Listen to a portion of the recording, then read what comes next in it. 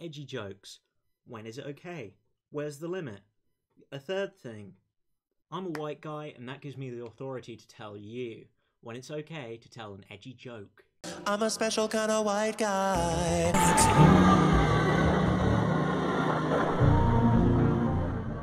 Picture this you're an impressionable wee little baby Rory. You go to a friend's house, they're watching South Park. You see Mr. Hanky the Christmas poo. It's innocent, it's cute. The mm. joke is poo poo doo doo caca. That's fine, you know? But then again, there's going to be like a terrorist joke or something that maybe is like, huh. A lot of people say there's stuff you could do before that you couldn't get away with today, like Little Britain and stuff like that. But why would you want to do it again? It's already been done. I mean, shock value jokes, once you've done them all, it's kind of like there's no shock anymore. What appeals about a shocking joke is nothing. No, appeals about a shocking joke is it isn't true. That's what like the main thing of any joke is. Let's say if I make a joke saying I'm really cool. That's funny because I'm not really cool. If I'm a bit cool, it's really funny because I'm exaggerating how cool I am. The untruthfulness of something is what makes it funny. Here's where it kind of brings me into it why I've been thinking about it a lot. I feel like there's certain things in my vocabulary I call myself, for example, a re. This already feels wrong. It's not really fair to make fun of people with disabilities just because I consider myself someone with like a learning disability. That doesn't give me the, the place to like bring everybody else down. The way I've been thinking about it is what really is the point of a joke? It's to put people at ease, it's to make them laugh, it's to make them feel funny. If someone like had a disability that was very clear and visual, you could definitely make fun of yourself and that would give everyone a laugh and no one's hurt because you made the joke. I get edgy jokes are really fun, but you know, it's just like people aren't going to be that comfortable, and it's just stuff you don't want in your vocabulary. People like come around and they see you said something in past, and you feel really bad about it because you're not, you weren't making it to hurt anyone's feelings. But you know, the way I see it, sounds like a duck, looks like a duck. They're probably going to think it's a duck, isn't it? Or a man in a very convincing duck costume. So comedy comes in threes, as you saw before. So I've come up with like a kind of a little three system, and it's like a way of thinking in your head like, is this joke a little bit too far? So the first one, privilege and identity. More rather than what you identify as, is what people can identify you as.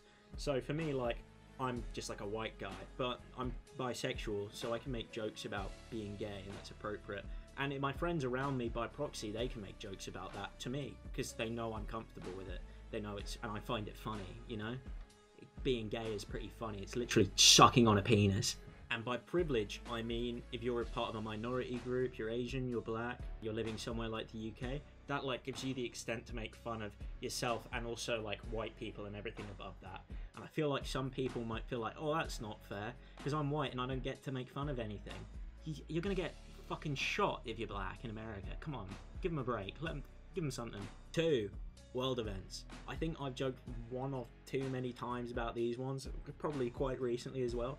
But you don't know who has family who's died in some event. Like anything that's like Titanic and before, that's all good. If you're a Vietnamese person, joke away about the Vietnam War all you like. That's great.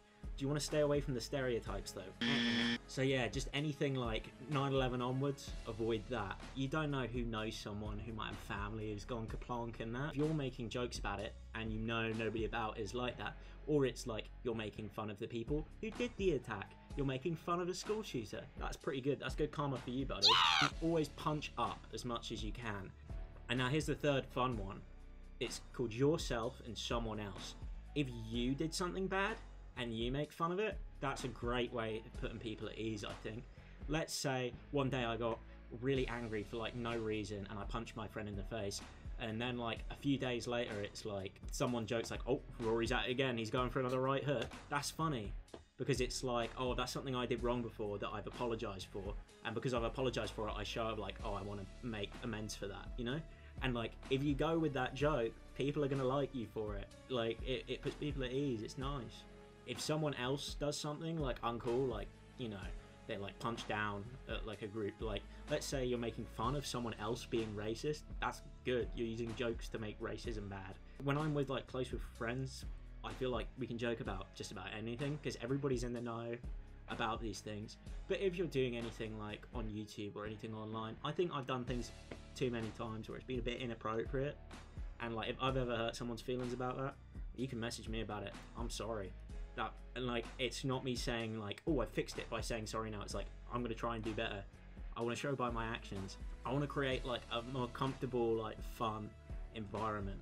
So when people come into this, they'll see like, oh, he's just he's having a laugh, he's having fun. Like I'm gonna try and give it clearer context from now on, because you've got to think about it. I can't remember what it's called. It's called like Poe's law or something. If you post something on the internet sarcastically, there is someone out there who's gonna think you're being serious. Shit like that happens on 4chan all the time. Next thing you know, you've got some crazy conspiracy theorists on your hand, and that's no fun and you're welcome to completely disagree with me. There's plenty of comedians out there who I feel like do a really good job of making edgy jokes, but the context is there already. People who are like outward about how they vote and what they do, and people disagree with them all the time, and it's fine. That dialogue's happening. That's good. But yeah, generally, just I don't know. I could be wrong also. Equal rights, equal fights.